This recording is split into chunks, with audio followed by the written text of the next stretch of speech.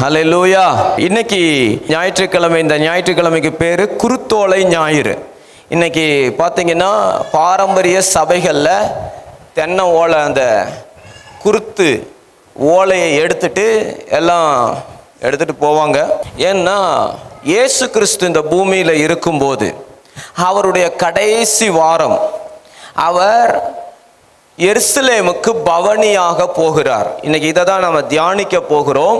நம்முடைய தேவன் நமக்கு மீட்பை தருகிற தேவன். சங்கீதம் நூத்தி பதினொன்னு ஒன்பதாம் வசனம். அவர் தமது ஜனத்திற்கு மீட்பை அனுப்பி அவர் தமது ஜனத்திற்கு மீட்பை அனுப்பி தமது உடன்படிக்கையை தமது உடன்படிக்கையை நித்திய உடன்படிக்கையாக கட்டளையிட்டார் நித்திய உடன்படிக்கையாக கட்டளையிட்டார் அவருடைய- நாமம் பரிசுத்தமும். பரிசுத்தமும் பயங்கரமுமானது திரும்பவும் அந்த வசனத்தை எல்லாரும் சேர்ந்து அவர் தமது ஜனத்திற்கு மீட்பை அனுப்பி தமது உடன்படிக்கையை நித்திய உடன்படிக்கையாக கட்டளையிட்டார். ஹalleluya மீட்பை அப்படிங்கிற இடத்துல இயேசுவை அனுப்பி. அப்படி படிக்கலாமா? அவர் தமது ஜனத்திற்கு இயேசுவை அனுப்பி தமது உடன்படிக்கையை நித்திய உடன்படிக்கையாக கட்டளையிட்டார். ஹalleluya எல்லாரும் கைத்தட்டி ஆண்டவருக்கு நன்றி சொல்லுவோமா? ஹலை லூயா ஹalleluya குட் ஃப்ரைடே இயேசுவை சிலுவையில் அறைந்த நாள். உயிர் தெழுந்த நாள். இதெல்லாம் வருகிறது. இதெல்லாவற்றையும் ஒரு பாரம்பரியமா ஏதோ ஒரு கடமையா ஒரு வழக்கமா நாம் இதை செய்யாதபடிக்கு இதனுடைய அர்த்தத்தை நாம் புரிந்தவர்களாக நாம் இதில் பங்கெடுக்க வேண்டும். மீட்பு. இஸ்ரவேல் ஜனங்களை ஆண்டவர் எகிப்து தேசத்திலிருந்து அவங்களை என்ன பண்ணாருங்க? வெளியே கொண்டு வந்தார். பத்தாவது வாதை. ஆண்டவர் சொன்னார் இந்த தடவை விட்டுருவான். ஒவ்வொரு தடவையும் மோசை எதிர்பார்த்தாரு. இந்த அற்புதத்தை பார்த்த உடனே பார்வோன் என்ன பண்ணிடுவான் தண்ணி ரத்தமாக மாறின உடனே பார்வோன் விட்டுருவான். இப்படி எதிர்பார்த்து பார்த்து பார்த்து பார்த்து பார்வோனுடைய இருதயம் கடினமாயிட்டே இருக்கிறதே தவிர இவங்களை விடுதலை ஆக்கின பாடு இல்ல. அலை அப்ப அப்போ கிட்ட ஆண்டவர் கடைசியா ஒரு காரியத்தை சொல்லும்போது அவன் தலைச்சன் பிள்ளைகள்லாம் சாக போகுது. இந்த முறை அவன் உங்களை விடுறது மட்டும் இல்ல உங்களை துரத்தி விடுவான்னு சொன்னார். ஆமேன். அலையலூயா தேவன் நமக்கு சொல்ற ஒவ்வொரு வாக்கு தத்தமும் சரி இந்த தடவை நடந்துரும் சரி இந்த தடவை நடந்துரும் சரி இந்த வாரம் நடக்கும் சரி அடுத்த வாரம் நடந்துரும் சரி இந்த மாசத்துல நடந்துரும் சரி இந்த வருஷத்துல நடந்துரும். அப்படிதான் நம்ம எதிர்பார்த்துட்டு இருக்கிறோம். ஆனா அற்புதம் நடந்தது தாமதமாக்கிட்டே இருக்குது. அற்புதம் நடக்கலையே அப்படின்னு நம்ம நினச்சிட்டு இருக்கிறோம். ஆனால் தேவன் ஒரு தடவை சொல்லிட்டாருன்னா அதில் அவர் மாறுறதே விசுவாசிக்கிறீங்களா? ஹalleluya. மோசை கிட்ட சொல்றாரு இந்த முறை அவன் உங்களை துரத்தி விடுவான். உனக்கு நான் சொன்னேன் எகிப்திலிருந்து உன்னை விடுவிப்பேன்னு சொன்னேன் நான் நிச்சயமாகவே அதை செய்வேன். அலை லூயா அலை லூயா இதுக்காக நீங்க ஆயத்தமாகுங்கன்னு சொன்னார். இதுக்காக நீங்க என்ன ஆயத்தம்? எல்லாரும் ஒரு ஆட்டுக்குட்டியை தெரிந்து கொண்டு பழுதற்ற ஆட்டுக்குட்டியை தெரிந்து கொண்டு அதை நீங்கள் அடித்து அதனுடைய ரத்தத்தை எல்லாம் நீங்கள் என்ன பண்ணணும்? நிலவு காலில் பூசணும். இன்னைக்கு ராத்திரி ஒரு தூதன் சங்காரம் பண்ணும்படியா எல்லா வீடுகளையும் கடந்து போவான். எந்த வீட்டில் எல்லாம் இந்த ஆட்டுக்குட்டின் ரத்தம் பூசப்பட்டிருக்குதோ அந்த வீட்டுக்குள்ள சங்கார தூதன் உள்ள வரமாட்டான். அல்லேலூயா. இது இஸ்ரவேல் ஜனங்களுக்கு ஆண்டவர் கொடுத்த கட்டளை. அன்னைக்கு ராத்திரி அதே மாதிரி நடந்துச்சு. இவங்க எல்லாரும் ஆட்டுக்குட்டியை அடித்தார்கள் ரத்தத்தை பூசினார்கள். அவங்களுக்கெல்லாம் பாதுகாப்பு. அப்படி ரத்தம் இல்லாத வீட்டில் அங்கே எல்லாம் பார்த்தீங்கன்னா எல்லாம் மரண ஓலம். எல்லா வீட்லேயும் தலைச்சன் பிள்ளைங்க மொத பிள்ளைங்க எல்லாம் செத்துட்டாங்க. அரண்மனையிலிருந்து சிறைச்சாலையில் இருக்கிறவனுடைய பிள்ளை வரையிலும் எல்லா முதல் பிள்ளைகளும் இறந்துட்டாங்க. எல்லா வீட்லேயும் அழுகை. ஆனால் இவங்களுக்கு என்னாச்சுன்னா ரத்தம் ஆட்டுக்குட்டியின் ரத்தம் இந்த குடும்பங்களை காப்பாற்றினது. இதுக்கு பேர் தான் மீட்பு. ஆட்டுக்குட்டியின் ரத்தம் இவங்களை காப்பாற்றினது மட்டுமல்ல இவங்களை கம்பீரத்தோட புறப்பட பண்ணினது. ஹலே லூயா ஹலே லூயா கத்தர் நமக்கு மீட்பை அனுப்பி இருக்கிறார் அலே லூயா இதுக்கு பேரு தான் பஸ்கா. எல்லாரும் சொல்லுவோமா? பாஸ் ஓவர் பஸ்கா கடந்து போகுதல். இந்த பண்டிகையை தான் குருத்தோல ஞாயிறு அப்ப கொண்டாடுறதுக்கு எல்லாரும் ரெடி ஆயிட்டு இருக்கிறாங்க யூதர்கள் மூன்று பண்டிகையை கண்டிப்பாக எல்லாரும் எருசலேமுக்கு வந்து கொண்டாடணும். மூணு பண்டிகையை. ஒன்று கூடார பண்டிகை ஒன்று பஸ்கா பண்டிகை இன்னொன்று பெந்தேகோஸ்தே பண்டிகை. இந்த மூன்று பண்டிகையும் இவங்க கண்டிப்பாக எல்லா ஆண் மக்களும் எருசலேமுக்கு வர வேண்டும். பஸ்கா பண்டிகை அப்ப எல்லாரும் பலி செலுத்துவதற்கு மிருகங்களோடு தேவாலயத்திற்கு வர வேண்டும். அல்லேலூயா. இப்ப இந்த பஸ்கா பண்டிகைக்கு ஆயத்தமாகி கொண்டிருக்கிற வெள்ளிக்கிழமை பஸ்கா அவங்களுக்கு. இயேசு மறிக்க போற நாள் தான் நிசான் மாதம் பதினைந்தாம் தேதி. ஆண்டவர் சொன்னார் பழைய ஏற்பாட்டில் அந்த குறிப்பிட்ட அந்த நிசான் மாதத்தில் பதினைந்தாம் தேதி நீங்கள் பஸ்காவை ஆசரிக்க வேண்டும். இப்படி அவங்களுக்கு திட்டம் போட்டு கொடுத்துருந்தார். அதே மாதிரி வருஷம் வருஷம் வருஷம் இந்த பஸ்காவை இவங்க ஆசரித்து கொண்டே வருவாங்க. சரி இப்போ குருத்தோலைக்கு வரலாம். இந்த இந்த இயேசு இந்த கடைசி அந்த அந்த ஞாயிற்றுக்கிழமை அந்த நாளில் இயேசு இப்போ எருசலேமுக்கு வேற ஒரு வித்தியாசமான ஒரு விதத்தில் இவர் போகிறார் எப்பவும் நடந்து போவார். ஆனால் இன்னைக்கு எப்படி போகிறாரு வாசிக்கலாம். மற்ற இருபத்தி ஒன்றாம் அதிகாரம். மத்தேயு இருபத்தி ஒன்றாம் அதிகாரம் ஒன்றாம் வசனத்திலிருந்து சில வசனங்களை வாசிக்கலாம். அவர்கள் எருசலேமுக்கு சமீபமாய் சேர்ந்து அவர்கள் எருசலேமுக்கு சமீபமாய் சேர்ந்து ஒளிவமலைக்கு அருகான பெத்பெகேயாவுக்கு வந்தபோது வந்தபோது இயேசுவானவர் சீஷரில் இரண்டு பேரை நோக்கி இயேசுவானவர் சீசரில் இரண்டு பேரை நோக்கி உங்களுக்கு எதிரே இருக்கிற கிராமத்துக்கு போங்கள். உங்களுக்கு எதிரே இருக்கிற கிராமத்துக்கு போங்கள். போனவுடனே அங்கே ஒரு கழுதையையும் அதனோடே ஒரு குட்டியையும் கட்டியிருக்க காண்பீர்கள். அவைகளை அவிழ்த்து என்னிடத்தில் கொண்டு வாருங்கள். ஹalleluya. இயேசு ரெண்டு சீஷர்களை கூப்பிட்டு சொல்றாரு இங்க வாங்கப்பா. நீங்க போனீங்கன்னா அங்க ஒரு நாள் ரோடு இருக்குதுல்ல. அந்த மாதிரி ஒரு இடத்துல ஒரு கழுதையும் கழுதை குட்டியும் கட்டி வச்சிருப்பாங்க. அதை போய் அவிழ்த்துட்டுவாங்க. யாராவது கேட்டா ஏன் அவுக்குறீங்கன்னு கேட்டா இது ஆண்டவருக்கு வேண்டும் என்று சொல்லுங்கள். அலை லூயா ஆண்டவர் பாருங்க கட்டப்பட்ட கழுதைய கூட என்ன பண்ணாருங்க? கட்டவிழ்க்க சொன்னார். ஆமே இன்னைக்கு நம்முடைய வாழ்க்கையில என்னென்ன கட்டுகள் எல்லாம் இருக்குதோ அதிலிருந்து கத்தர் இன்றைக்கு நமக்கு ஒரு விடுதலையை தருவார். விசுவாசிக்கிறவர்களுக்கு விடுதலை உண்டு.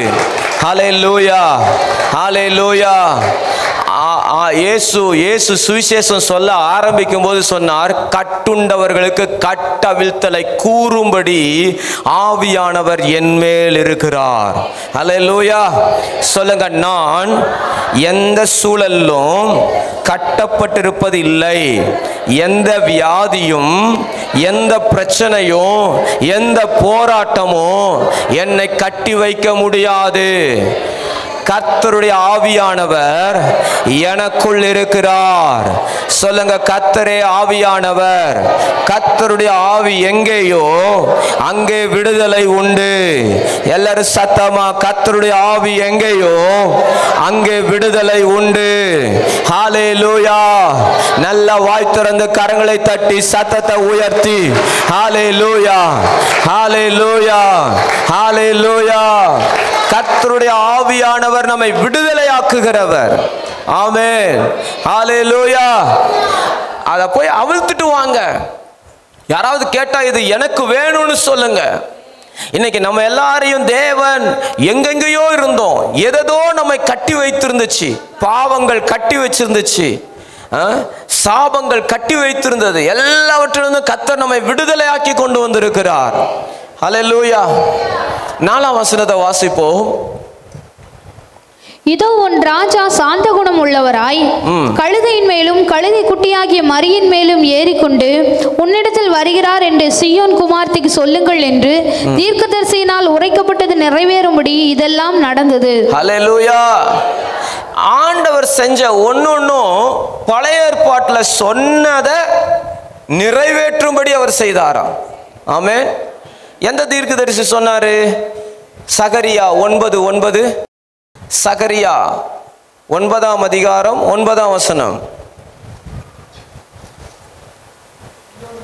சியோன் சியோன் குமார் குமாரத்தியே. மிகவும் கழிகூறு மிகவும் கலிகூறு எருசலேம் குமாரத்தியே. எருசலேம் குமாரத்தியே. கெம்பீரி. கெம்பீரி. இதோ உன் ராஜா உன்னிடத்தில் வருகிறார். இதோ உன் ராஜா உன்னிடத்தில் வருகிறார். அவர் நீதி உள்ளவரும் அவர் நீதி உள்ளவரும் ரட்சிக்கிறவரும் ரட்சிக்கிறவரும் தாழ்மை உள்ளவரும் தாழ்மை உள்ளவரும் கழுதையின் மேலும் கழுதையின் கழுதை மேலும். குட்டியாகிய மரியின் மேலும் ஏறி வருகிறவருமாய் இருக்கிறார் ஹalleluya ஹalleluya பழைய சொன்னதை நிறைவேறும்படி அவர் என்ன பண்ணாராம்?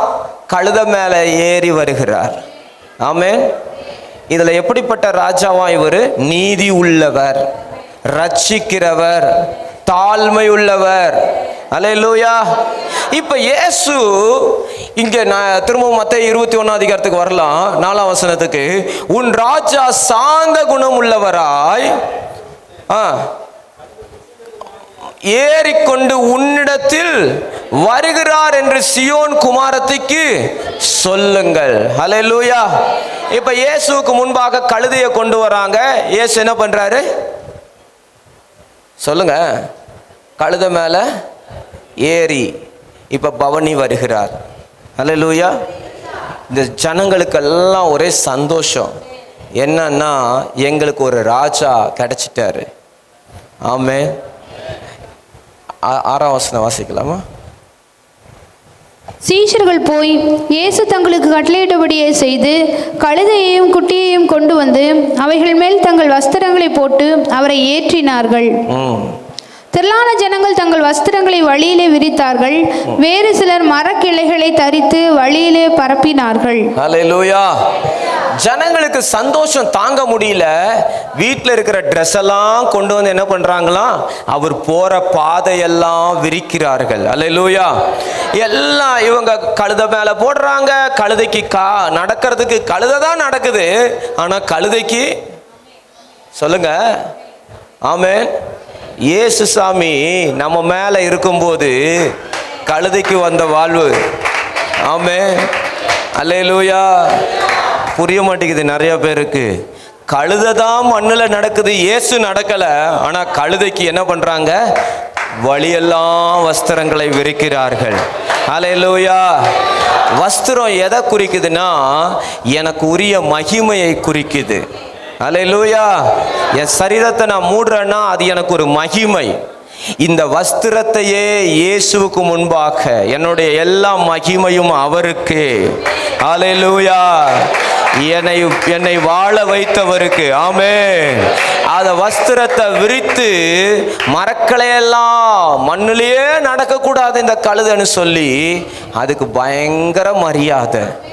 ஆமே ஹலலூயா ஹalleluya நேற்று அதுதான் சொல்லிக்கிட்டு இருந்தேன். மீட் மீட்கிறவர் நம்மை மீட்கும் போது மரியாதை நமக்கு கூடும். புகழ் நமக்கு கூடும். ஹalleluya சரி அடுத்த வசனத்துக்கு போயிடலாம். ஒன்பதாம் வசனம். முன் நடப்பாரும் பின் நடப்பாருமாகிய திரளான ஜனங்கள். ஆமென் வேத பண்டிதர்கள் சொல்றாங்க லட்சக்கணக்கான ஜனங்க கூடினாங்களாம். என்னங்க? இதுவரையில் அப்படி ஒரு கூட்டத்தை பிரதான ஆசாரியர்கள் பார்த்ததே இல்லையாம் என்னடா? இயேசு ஏதோ சும்மா கொஞ்சம் பேர் அப்படி கூட்டிட்டு ஆயிரக்கணக்கில் போறாங்கன்னு பார்த்தா வேத வல்லுநர்கள் சொல்ற லட்சக்கணக்கான ஜனங்க குறைந்தது ரெண்டு லட்சம் ஜனங்க இருக்குன்னு சொல்றாங்க. இவ்வளோ ஜனங்களும் சேர்ந்து இயேசுவுக்கு முன்னாடியும் ஆ, இயேசுவுக்கு பின்னாடியும். ஹalleluya. பாருங்க இவங்க எல்லாரும் என்ன பண்றாங்களா? பாட்டு பாடிக்கிட்டே போறாங்க. ஓசனா தாவீதின் குமாரனுக்கு ஓசன்னா. தாவீதின் குமாரனுக்கு ஓசன்னா. கர்த்தருடைய நாமத்தினாலே வருகிறவர். ஸ்தோத்தரிக்கப்பட்டவர். ஸ்தோத்தரிக்கப்பட்டவர். உன்னதத்திலே ஓசன்னா என்று சொல்லி. ஓசன்னா ஓசனா என்று சொல்லி ஆர்ப்பரித்தார்கள். ஆர்ப்பரித்தார்கள். ஹalleluya. இயேசு ராஜா முன்னே செல்கிறார். ஓசனா கீதம் பாடுவோம்.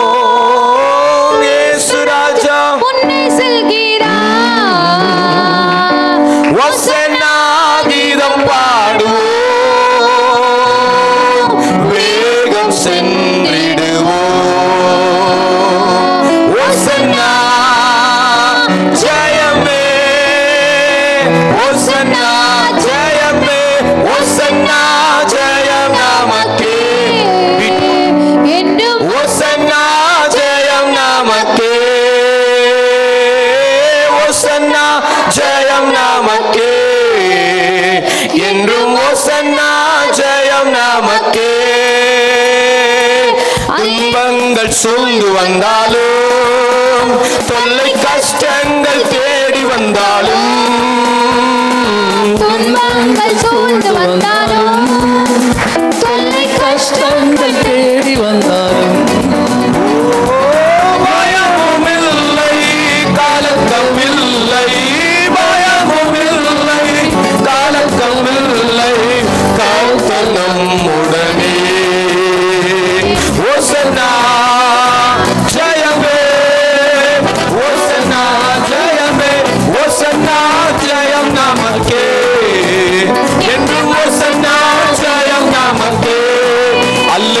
அல்லேலூயா துதி மகிமையே.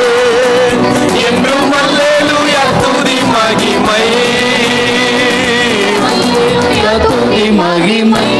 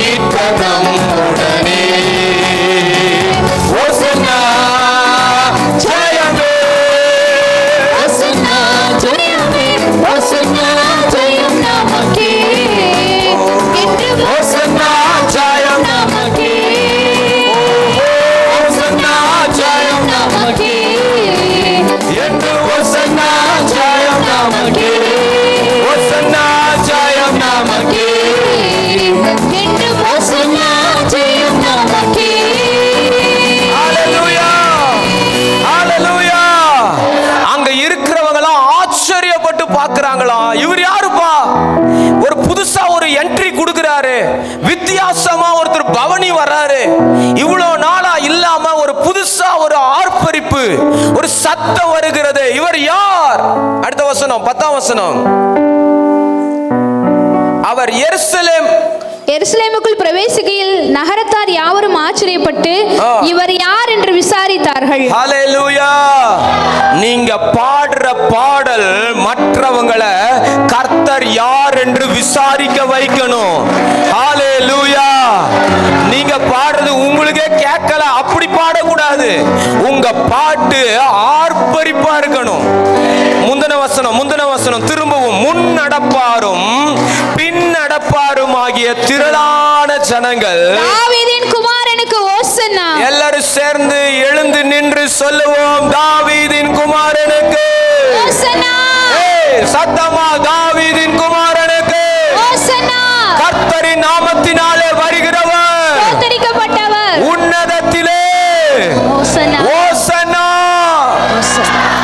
இன்னும் சத்தமா சொல்ல முடியும்?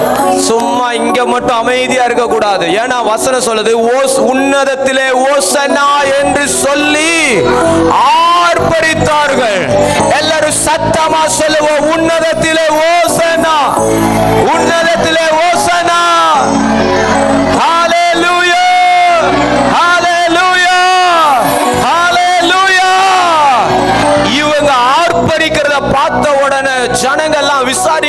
என்ன சத்தம் என்ன பாட்டு? ஏன் ஏன் ஏன்? என்ன நடக்குது இங்க? ஹலலூயா உங்களுக்கு ஒன்று தெரியுங்களா? நீங்க பாட பாட உங்க சூழல் மாறுது. ஆவியின் மண்டலத்துல உங்களுக்கான கிரியைகள் நடக்குது. கதவுகள் திறக்கிறது. உங்களுக்கு புரியுதா? கர்த்தரை துதிக்க துதிக்க உங்க மைண்டு ரிலாக்ஸ் ஆகும். சங்கீதக்காரங்க சொல்றாங்க எருசலேமே நான் உன்னை மறந்தா என் வலது கை தன் தொழிலை நான் பாடுறதுக்காக என் வாயை கொடுத்தாரு என் கையையும். ஆர்ப்பரிப்பு. ஆமே திரும்பவும் நம்ம எல்லாரும் சேர்ந்து இந்த பாட்டை பாட போறோம். மகிமை. என்றும் மகிமை.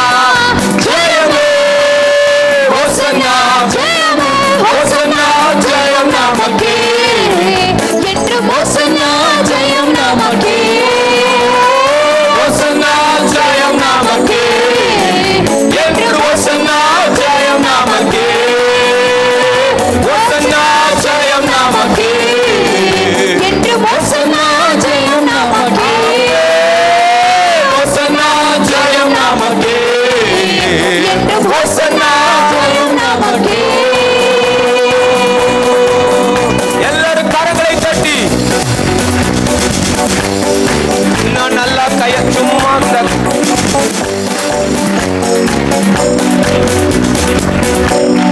ஹalleluya ஹalleluya. இத பாட பாட பாட சிலருக்கெல்லாம் இரிட்டேட் ஆகுதாம் பதினஞ்சாம் வசனத்துல பதினைந்தாம் வசனத்துல அவர் செய்த அதிசயங்களையும் தாவீதின் குமாரனுக்கு ஓசனா என்ற தேவாலயத்தை ஆர்ப்பரிக்கிற பிள்ளைகளையும் பிரதான ஆசாரியரும் வேத பாரகரும் கண்டு கோபமடைந்து பாருங்க ரோட்ல இயேசு கழுதையில வர வர வர வர பாடிக்கிட்டே வந்தாங்க. இப்ப ஆலயத்துல வந்தும் பாடிக்கிட்டே இருக்கிறாங்க. ஓசனா ஓசனா ஜெயமே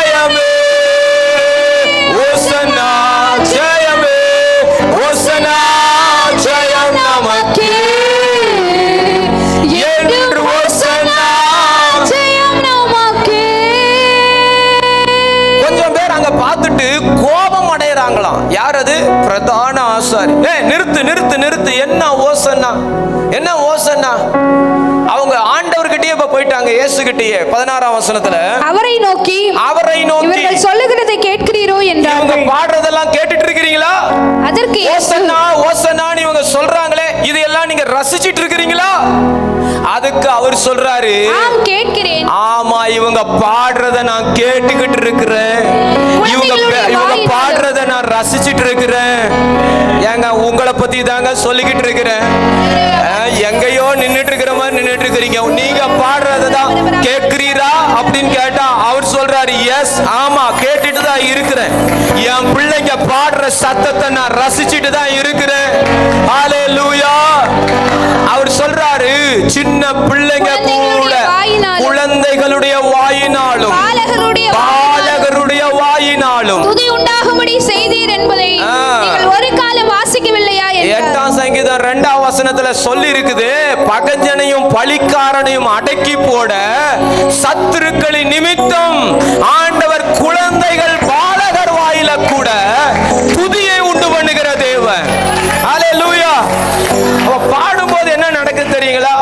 உங்க எதிரி அடக்கப்படுகிறான் லூயா இவங்க பாருங்க வசனம் சொல்லுது பகஞ்சனையும் பழிக்காரனையும். அடக்கிறது கத்தர் வச்சிருக்கிற ஆயுதம் பாட்டு ஆராதனை துதி. ஹalleluya நீங்க பாட பாட பாட அடக்கப்படுகிறான். பகஞ்சனும் பழிகாரனும். லூயா ஹலை லூயா ஒருவேளை உங்க பக்கத்து வீட்டுக்காரரா கூட நினைக்கலாம். ஆனா அவங்களையும் கத்தர் அடக்குவார். துதி சத்துருடைய திட்டங்களை அடக்கும்.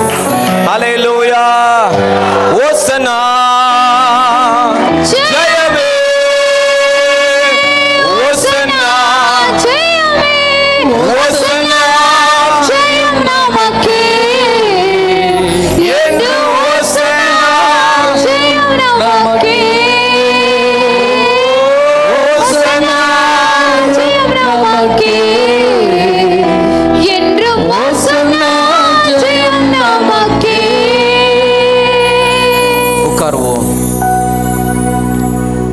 லூக்கா பத்தொன்பதாம் அதிகாரத்தில் லூக்கா பத்தொன்பதாம் அதிகாரத்தில் முப்பத்தி எட்டாம் வசனத்தை முப்பத்தி ஏழாம் வசனத்திலிருந்து வாசிக்கலாம். அவர் அடிவாரத்துக்கு சமீபமாய் வருகையில் திரளான கூட்டமாகிய சீஷர் எல்லாரும் தாங்கள் கண்ட சகல அற்புதங்களையும் குறித்து சந்தோஷப்பட்டு கர்த்தருடைய நாமத்தினாலே வருகிற ராஜா ஸ்தோத்தரிக்கப்பட்டவர். பரலோகத்திலே சமாதானமும் உன்னதத்திலே மகிமையும் உண்டாவதாக என்று மிகுந்த சத்தத்தோடே தேவனை புகழ்ந்தார்கள். இயேசு பிறந்தப்ப என்ன பாட்டு பாடினாங்களோ தூதர்கள் அந்த பாட்டை இப்ப இங்க இருக்கிறவங்கலாம் பாடுறாங்க. அல்ல இல்லையா என்ன பாடுறாங்க? பரலோகத்திலே சமாதானமும் உன்னதத்திலே மகிமையும் உண்டாவதாக. ஹலே லூயா அற்புதத்தை கண்டு சந்தோஷப்பட்டு முப்பத்தி ஏழாம் வசனத்தின் கடைசி வார்த்தை சகல அற்புதங்களையும் குறித்து சத்தமா வாயை திறந்து சொல்லுங்க. சந்தோஷப்பட்டு. அலையிலூயா. இன்னைக்கு நம்ம உக்காந்து இருக்கிறதே அற்புதம் தான் இன்னைக்கு நம்ம ஜீவனோட இருக்கிறது. எத்தனை பேர் உணர்றீங்களோ? உங்க லைஃப்ல நீங்க இன்னும் அற்புதங்களை அனுபவிப்பீர்கள். அலையிலூயா.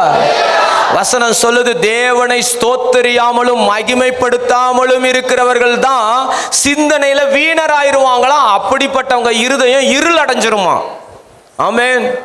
ஆண்டவரை மகிமைப்படுத்திட்டு ஸ்தோத்திரம் பண்ணிக்கிட்டு கத்தர் கொடுத்ததுக்கு முதல்ல நன்றி சொல்லுங்க. அலே லூயா இருக்கிறத விட்டுட்டு பறக்கிறத பார்த்துக்கிட்டு இருக்காதீங்க. இருக்கிறதுக்காக கத்தருக்கு நன்றி. கொடுத்தவைகளுக்காக கர்த்தருக்கு நன்றி. கொடுத்த சுகத்திற்காக கர்த்தருக்கு. கொடுத்த எல்லா நன்மைக்காகவும் கர்த்தருக்கு. லூயா உன் உணர்வுள்ள இருதயம் அடுத்த லெவல்ல போகும். ஆண்டவர் எதிர்பார்க்கிற முக்கியமான காரியங்க தேங்க்ஃபுல் ஹார்ட் நன்றி நிறைந்த இருதயம். ஆமே நன்றி நிறைந்த இருதயம். அது இருந்துச்சுன்னா ஆராதனையை மிஸ் பண்ண மாட்டோம். சிம்பிள் நன்றி இருந்துச்சுன்னா ஆராதனையை மிஸ் பண்ணவே மாட்டோம். ஹalleluya எல்லாம் ஆர்ப்பரிக்கிறாங்க. தேவனை புகழுகிறார்கள். எப்படின்னா எந்த அளவுக்கு தங்களை ஆண்டவருக்கு ம மகிமையை செலுத்த முடியுமோ ஆமேன். வசனம் சொல்லுகிறது பலவான்களின் புத்திரரே கர்த்தருக்கு மகிமையையும் வல்லமையையும் செலுத்துங்கள். கர்த்தருக்கே அதை செலுத்துங்கள். அலையலூயா அலையலூயா கர்த்தர் பெரியவர். என் வாழ்க்கையில் எத்தனை மறக்க முடியாத நன்மைகளை செய்திருக்கிறார். அலையலூயா என் கண்ணீரை அவர் துடைத்திருக்கிறார். அலையலூயா ஒன்றுமில்லாத என்னை இவ்வளோ தூரம் நடத்தி வந்திருக்கிறார். அலையலூயா அலையலூயா நான் நினைப்பேன் நீங்கள் சைக்கிள் பக்கத்து வீட்டில் கேட்டால் கூட உங்களை நம்பி சைக்கிள் தராத ஆட்களாக இருந்திருப்போம். ஆனால் இன்னைக்கு கத்தர் எந்த அளவு உயர்த்தி இருக்கிறாரு? நினைக்க முடியுதுங்களா? கத்தருடைய நன்மையை நினைக்க முடியுதா சகோதரா? இன்னைக்கு கர்த்தர் எவ்வளோ நல்லவராக இருக்கிறார். ஹalleluya. அந்த அந்த சீஷர் அந்த பரிசெயர்கள் முப்பத்தி ஒன்பதாம் வசனம் லூக்கா பத்தொன்பது முப்பத்தொன்பது அப்பொழுது கூட்டத்தில் இருந்த பரிசேயரில் சிலர் அவரை நோக்கி வெயிட் வெயிட் வெயிட் வெயிட் பாருங்க ஆராதனை பண்ற கூட்டத்துக்குள்ள யார் இருக்கிறாங்களா? பரிசெயர்னா என்னன்னா ரொம்ப நிறைய தெரிஞ்சவங்க. எதை பத்தி? எங்களுக்கு பழைய ஏற்பாடுலாம் நல்லாவே தெரியும். ஜெபம்னா எங்களுக்கு நல்லாவே ஆராதனைனா நல்லாவே. உட்காந்து மார்க் போட்டுக்கிட்டே இருப்பாங்க. எதை செஞ்சாலும். இதான் பரிசேயர். தங்களை பார்க்காம அடுத்தவங்களையே பார்த்துட்டு இருப்பாங்க பரிசேயர். ஏன்னா ஆயக்காரன் பரிசையனுடைய ஜபத்தில் நம்ம பார்க்குறோம் அதை. இவங்க என்ன பண்றாங்களாம்? கூட்டத்துக்குள்ளே தான் இவங்களும் இந்த அல்லேலியா இது ஓசன்னா கூட்டத்துக்குள்ளே தான் இருக்கிறாங்க. ஆனா இவங்களுக்கு பாடுறதுக்கு மனசு வரல. இவங்க அடுத்தவங்க பாடுறது இவங்க என்ன பண்றாங்க? என்ன சொல்றாங்க? உங்களுடைய சீஷரை போதகரே உம்முடைய சீஷரை அதட்டும் என்றார்கள். என்ன சொல்றாங்க? அதட்டும். அல்லேலூயா. ஆண்டவர் சொல்றாரு அடுத்த வசனத்துல அவர்களுக்கு அவர் பிரதியுத்தரமாக நான் அதட்ட போறதில்ல. இவர்கள் பேசாமல் இருந்தால். இவர்கள் பேசாமல் இருந்தால். கல்லுகளே கூப்பிடும் என்று உங்களுக்கு சொல்லுகிறேன் என்றார். கல்லுகள் கூட என்ன பாடும். அலையிலூயா அருமையான தம்பி சகோதரா சகோதரி தங்கச்சி அம்மா நம்ம பாடலைனா கத்தர் கல்லுகளை கூட பாட வைப்பாராம். அலையிலூயா நம்ம கல்லாயிடக்கூடாது அப்புறம். அதுக்கு ஜீவன் வந்து நம்ம கல்லாயிட்டோம்னா எப்படி கல்லாவோம்? ஒரு பிரச்சனை வந்துச்சுன்னா இடிஞ்சு போயிடுவோம் பாருங்க. உறைஞ்சு போயிடுவோம் பாருங்க. அதுதான் என்ன ஆகிறது அங்கெல்லாம் போறதுக்கு ஆண்டவர் விரும்பல. நம்ம பாடிக்கிட்டே இருந்தோம்னா நமக்கு முன்னாடி பர்வதங்கள் கரையும். ஹஹஹஹஹா. நம்ம ஆண்டவரை ஆராதிக்க ஆராதிக்க நமக்கு முன்னாடி இருக்கிற பிரச்சனைகள் எல்லாம் தவிடுபொடியாகும். நீங்க பாடாம இருந்தீங்கன்னா நீங்க பாறையா இருவீங்க. இங்க சொல்றாரு இவங்க பாடலைன்னா எது வேணா என்ன பாடும். அல்லேலூயா. ஆராதனை என்பது விசேஷமான ஒன்று. அல்லேலூயா.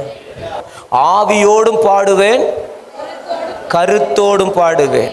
அப்படின்னு என்ன அர்த்தம்னா ஆவியிலையும் பாடுவேன். என்னை மறந்தும் பாடுவேன். நான் உணர்ந்தும் பாடுவேன். இதுதான் கருத்துங்கிறது மைண்டு ஆவிங்கிறது ஆவி. ஆவியிலங்கிறது என்னையே மறந்து நான் பாடுவேன். சும்மா நிற்க முடியாதுங்க. கத்தரை பாட பாட ஒரு பாட்டை பாடினோன்னா அந்த பாட்டை கேட்டுட்டு சும்மாலாம் நிற்க முடியாதுங்க. நம்முடைய நம்முடைய சரீர அவயவங்கள் எல்லாம் கத்தரை ஆராதிக்கும். ஆலை லூயா ஆலை லூயா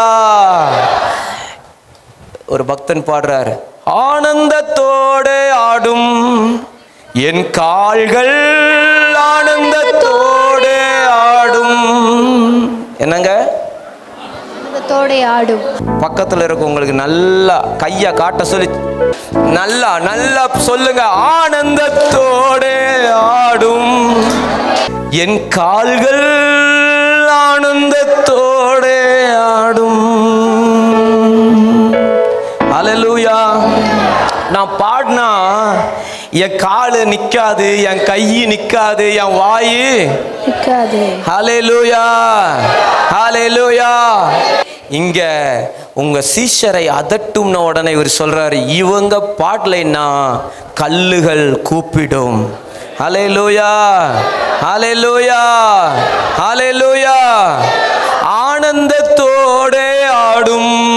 என் கால்கள்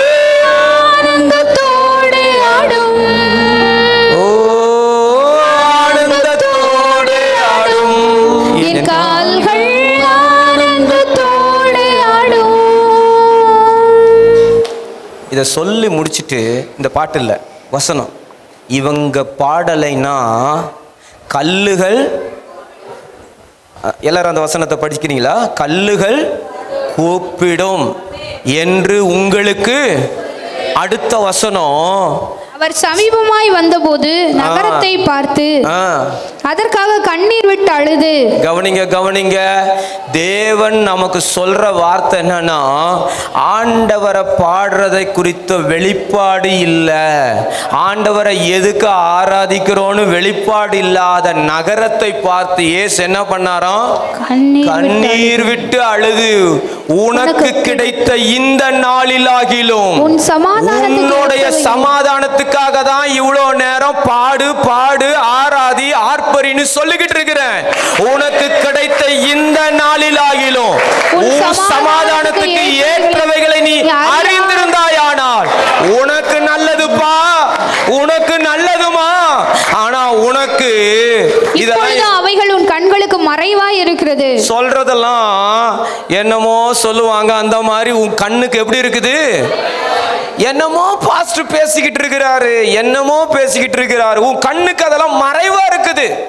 பாட்டை பத்தி சொல்றாரு ஆராதனையை பத்தி சொல்றாரு. நீ பாடலைனா கல்லு கூப்பிடுன்னு சொல்லிட்டு ஆண்டவர் அழுதுகிட்டே சொல்றாரு. உனக்கு கிடைச்ச இந்த நாள்.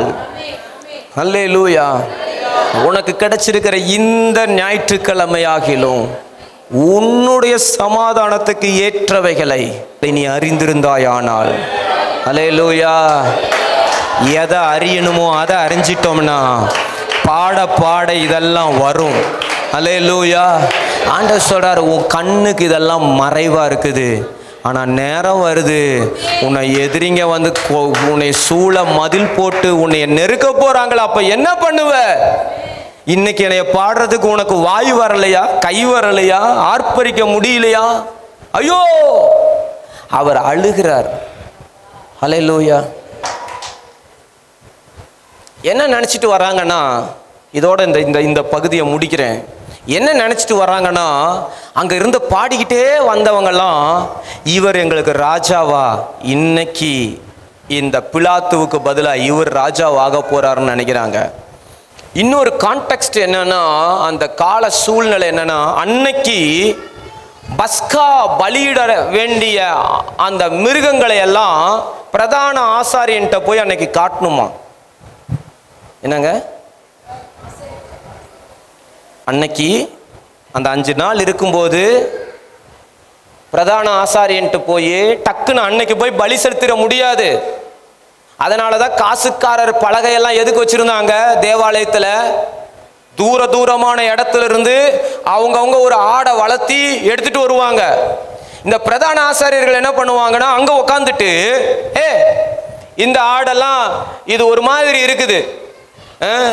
இது வந்து இது நேராக நடக்காம இது ஒரு பக்கமாக சண்டி சண்டி ரிஜெக்டட் இது இது செல்லாது. இந்த இதா இந்த பறவை செல்லாது.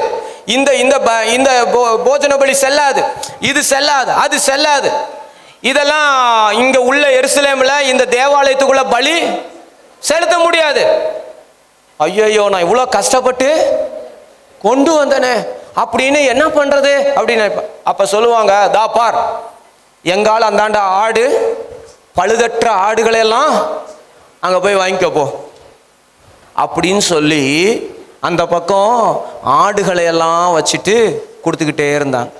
இதனால பல இடத்துலேருந்து வர்றவங்க இப்போ வெளிநாட்டிலேருந்து அவங்க காசை இங்கே கொண்டு வந்தா செல்லாது. நம்ம காசை வெளிநாட்டில் கொண்டு போய் அப்போ என்ன பண்ணணும்னா எக்ஸ்சேஞ்ச் பண்ணணும். அந்த எக்ஸ்சேஞ்ச் பண்ணுறது தான் காசுக்காரருடைய பலகை. அங்கே உக்காந்துட்டு மற்ற நாடுகள்லேருந்து மற்ற இடத்துலேருந்து அவங்க காசை இங்கே கொண்டு வந்து இங்கே உள்ள காசை வாங்கி இவங்க கொண்டு போய் ஆடை வாங்கிட்டு பலி செலுத்துறதுக்கு வரணும். இதுக்கு தான் காசுக்காரர்கள் பலகையை வச்சு பலகையில் உக்காந்துக்கிட்டு இருந்தாங்க. அல்ல லூயா அறுநூத்தி பதிமூணு நியாயப்பிரமாணத்தின் கட்டளைகளை கொடுத்தா இவங்க இதை தாண்டி எத்தனையோ கட்டளைகளை இவங்க ஆட் பண்ணி விட்டாங்க சரி இது ஒரு பக்கம். அன்னைக்கு எல்லா ஜனங்களும் பஸ்கா வெள்ளிக்கிழமைன்னா இன்னைக்கே போய் பிரதான ஆசாரியன்ட்ட இந்த ஆடு ஓகேங்களா? இந்த பறவை? சொல்லுங்க. நான் பலி செலுத்தணும். இது ரெடிங்களா? இது ஓகே தானா? அப்படின்னு போய் தேவாலயத்துக்கு கொண்டு போய் காட்டணுமா. ஹலே லூயா அந்த நாளில் எல்லாரும் பலி செலுத்த பலியை காட்டுறதுக்கு கொண்டு போன நாளில் தான் தேவ ஆட்டுக்குட்டியா இயேசுவே போய் நான் பலி ஆட ஆக போகிறேன் பஸ்கா அன்னைக்கு நான் பலியாட ஆக போகிறேன் என்று தேவாலயத்திற்குள்ள உள்ள நுழைந்தாராம். லூயா உங்களுக்காக எனக்காக எவ்வளோ பெரிய கிரயம் செலுத்திருக்கிறார் தெரியுமா? அவருடைய அன்பு எவ்வளோ பெரியது தெரியுங்களா? தன்னை ஆயத்தப்படுத்தி ஆயத்தப்படுத்தி ஹalleluya அங்க இருக்கிறவங்களாம் நினைச்சாங்க இன்னைக்கு நீங்க ராஜாவா இருந்தா எங்களையெல்லாம் இந்த ரோம பேரரசுலேருந்து காப்பாத்திரலாமே. அவர் நினைச்சாரு உனக்காக யூதர்களே உங்களுக்காக மட்டும் நான் வரல. முழு உலகத்தின் பாவத்தையும் சுமந்து தீர்க்கிற தேவாட்டுக்குட்டியா நான் வந்திருக்கிறேன்னு சொல்லி அந்த ஆலயத்திற்குள் தன்னை போய் காட்டினார். ஹalleluya ஹalleluya அதுக்கப்புறம் தாங்க வேலையே ஸ்டார்ட் ஆகுது. இயேசுவை எப்படி கொலை செய்யலாம்? ஆமேன். நமக்காக பஸ்காவாய் தேவ ஆட்டுக்குட்டியா இயேசு பலியானார். இந்த அன்பு பெரியது. அலையலூயா இந்த அன்பு எவ்வளவு எவ்வளவு பிளான் பண்ணி அழகா தன்னை கொண்டு போய் காட்டிட்டு அந்த வாரத்தில் அப்படியே நடக்குது. அந்த பஸ்காவுக்கு முன்னாடி நாள் இவங்க என்ன பண்ணுறாங்க திருவிருந்த ஆசரிக்கிறாங்க. போய் எல்லாம் ரெடி பண்ணுப்பா. அந்த மேல் வீட்டில் போய் எல்லாம் ரெடி பண்ணுங்க என்று சொல்லி இயேசு அவங்களுக்கு சொல்கிறாரு அவங்க போகிறாங்க அந்த கம்பளம் விரிக்கப்பட்ட இடத்துல போய் எல்லாரையும் உட்கார வச்சு இயேசு என்ன பண்ணுறாரு அந்த திருவிருந்தை கொடுக்குறார். அல்லேலூயா அவர்கள் கால்களை கழுவினார். ஆமே மீட்பை உண்டு பண்ணினார். அவருடைய இரத்தத்தினாலே மீட்பை உண்டு பண்ணினார். நமக்காக வெளிப்படுத்தல் அஞ்சு ஒன்பதை வாசித்தரலாம். வெளிப்படுத்தல் அஞ்சு ஒன்பது.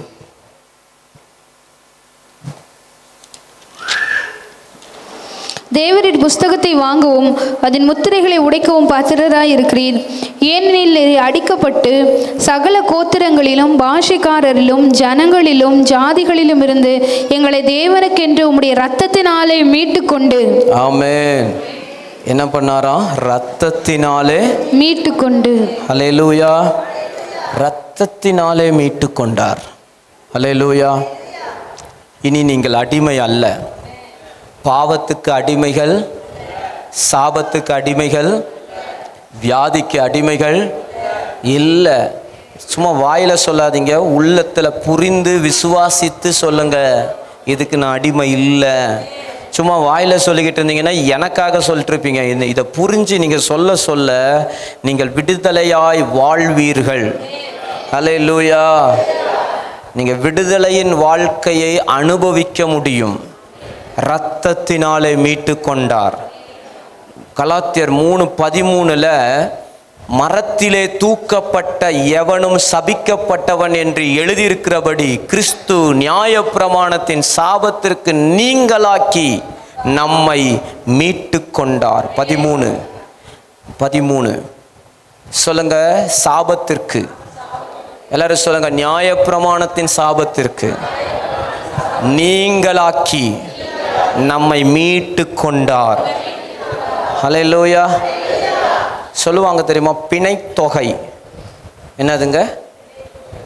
அப்படின்னா ஒருத்தன் ஜாமீன் ஜாமீன் இங்கிலீஷில் ஜாமீன்னு சொல்கிறோம் ஆனால் அது ஒரு ஒரு தொகையை கட்டி தான் ஒரு குற்றவாளி என்ன பண்ண முடியும்? வெளியே அது வந்து எப்போ கூப்பிட்டாலும் அந்த குற்றத்துக்கும் அவனுக்கும் சம்மந்தம் இருக்குது. அவன் ஜாமீனில் தான் வரான். ஆனால் இந்த இயேசுவின் ரத்தமும் நீ- நீ ஜாமீனில் வெளியே வரல.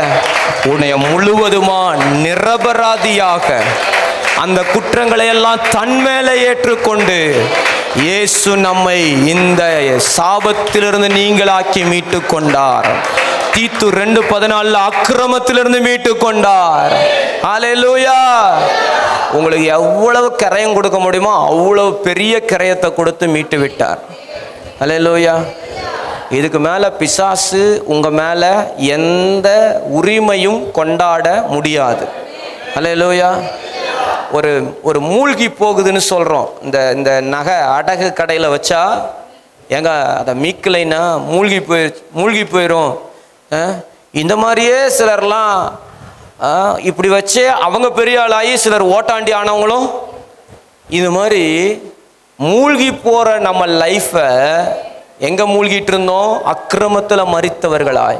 பாவத்தில் மறித்தவர்களாய் இருந்த நம்மை இயேசு என்ன பண்ணார்னா ரத்தத்தினாலே. அலே லூயா இதை விட பெருசு எதுவுமே கிடையாதுங்க. அலே லூயா எவ்வளோ பெஸ்ட் ப்ரைஸ் கொடுக்க முடியுமோ? விலைக்கிரயம் கொடுக்க முடியுமோ? அவ்வளோ பெரிய விலைக்கிரயம் கொடுத்து உங்களையும் என்னையும் அவர் மீட்டிருக்கிறார். இன்னைக்கு ரட்சிப்பு இலவசம் ஆனா ரட்சிப்புக்கு கிரயம் கொடுக்கப்பட்டிருக்கிறது. இன்னைக்கு நம்ம வந்து ஆவிக்குரிய வாழ்க்கை விசுவாசித்தா போதும் விசுவாசித்தா போதும். இலவசமாய் கிருபையினாலே ரட்சிக்கப்பட்டீர்கள்னு சொல்றோம். நமக்கு இலவசம் ஆனா கிரயம். அல்லேலூயா சில நேரத்தில் நமக்கு கிடைக்கிற கிஃப்ட் நமக்கு இலவசம். ஆனால் யாரோ ஒருத்தர் அது மாதிரி தான் இயேசு நம்மை ரட்சிக்க அவர் மிகப்பெரிய கிரயத்தை கொடுத்துட்டாரு. நமக்கு இலவசமாக கொடுத்துட்டாரு. ஆனால் அதுக்கு அவர் மிகப்பெரிய விலையை கொடுத்துருக்கிறார். கிரயத்துக்கு கொல்லப்பட்டீர்களே வாங்கப்பட்டீங்களே. காசு கொடுத்து நான் வாங்கியிருக்கேன். என்ன காசு? என் ரத்தத்தையே என் ஜீவனையே கொடுத்தேன். ஹalleluya ஆகையால் அந்த வசனத்தை படிச்சிருவோமா? ரெண்டு குருந்தியர் ஆறு இருபது. கிரயத்துக்கு கொல்லப்பட்டீர்களே. ஆகையால் தேவனுக்கு உடையவைகள் ஆகிய உங்கள் சரீரத்தினாலும் ஆவியினாலும் தேவனை மகிமைப்படுத்துங்கள். அலேலூயா ஆறு இருபது. கிரயம் கொடுத்து வாங்கப்பட்டீர்களே. ஆகையால் தேவனுக்கு உடையவைகள் ஆகிய இப்ப நம்ம சரீரம் யாரு தான் சொல்லுங்க. யாருடையது? நம்ம நினைச்சிட்டு இருக்கோம் இது என் சரீரம்னு. இது தேவன் விலை கொடுத்து வாங்கின சரீரம்னு நீங்க யோசித்தீங்கன்னா வியாதியோட நீங்க வாழ வேண்டிய அவசியமே இல்லை. ஏன்னா அவர் விலை கொடுத்து வாங்கினது அது அவர் சரி செய்வார். அல்லேலூயா தேவனுக்கு உடையவைகளாகிய உங்கள் சரீரத்தினால். அப்ப என் சரீரத்தில் ஏதாவது பிரச்சனைனா என் சரீரத்தை தேவன் கிரயம் கொடுத்து வாங்கியிருக்கிறார். இந்த உணர்வை நீங்கள் கொண்டு வாங்க பாருங்க வியாதியெல்லாம் எங்கே போகுதுன்னே தெரியாது. உங்கள் சரீரம் பலனடையும். இந்த அறிவில் வாழுங்க. தேவனுக்கு உடையவைகளாகிய சரீரத்தினாலும் ஆவியினாலும் தேவனை அதனால தான் சொன்னேன் கால் சும்மா இருக்கக்கூடாது. ஏன்னா சரீரத்தை தேவனுக்கு உடைய சரீரத்தினால தேவனை மகிமைப்படுத்துங்கள். கை சும்மா இருக்கக்கூடாது. ஏன்னா விலை கொடுத்து என் சரீரத்தை வாங்கிட்டாராம் இந்த சரீரத்தினால இந்த கையினால தேவனை மகிமைப்படுத்தணும். இந்த வாயினால தேவனை மகிமைப்படுத்தணும். என் சரீரத்தினால தேவனை நாம் மகிமைப்படுத்த வேண்டும். ஹalleluya ஹalleluya எல்லாரும் எழுந்து நிற்போம்.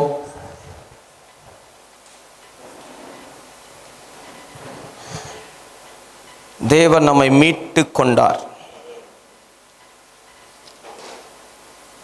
இன்னொரு வசனம் சொல்லுகிறது அவர்கள் ஆத்தும மீட்பு மிகவும் அருமையாக இருக்கிறது அலையலூயா. உங்க ஆத்துமாவையும் அவர் மீட்டுட்டார். அலையலூயா. ஆபிரகாமை மீட்டு கொண்ட கர்த்தர் சொல்றார் இனி யா இனி யாக்கோபு வெக்கப்படுவதில்லை அவன் முகம் செத்து போவதில்லை மீட்டு கொண்டவர் சொல்றாரு நீ வந்து வெக்கத்தோட வாழ வேண்டிய அவசியம் ஹalleluya.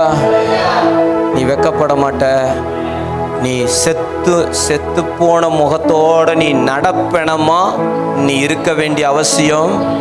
ஏன்னா உன்னை மீட்டு கொண்ட கர்த்தர் சொல்கிறேன் மீட்டு கொண்ட கர்த்தர் சொல்கிறாரு இந்த வார்த்தை எவ்வளவு விசுவாசிக்கிறீங்களோ அவ்வளவு உங்கள் லைஃப்ல நீங்க நடப்பணமா வாழ மாட்டீங்க. கம்பீர நடை போடுவீர்கள்.